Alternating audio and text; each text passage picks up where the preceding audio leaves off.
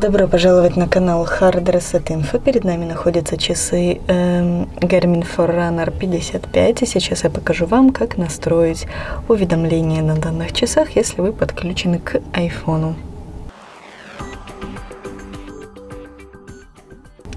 Итак, для этого мы открываем э, приложение Garmin Connect, далее выбираем наши часы и выбираем э, раздел «Звуки и оповещения».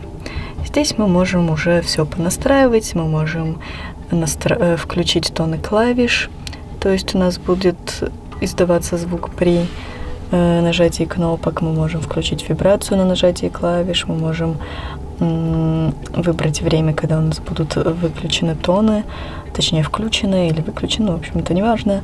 Можем включить вибрацию при сигнале, можем настроить умные уведомления, то есть при занятиях спортом или чем-нибудь еще э, настроить уведомления при аномальной частоте пульса, то есть либо включить сигнал при превышении, при понижении пульса.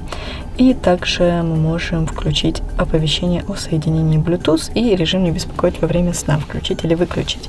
Вот, и таким образом мы и настраиваем э, уведомления на нашем устройстве. На этом все. Спасибо за просмотр. Ставьте лайки, подписывайтесь на наш канал.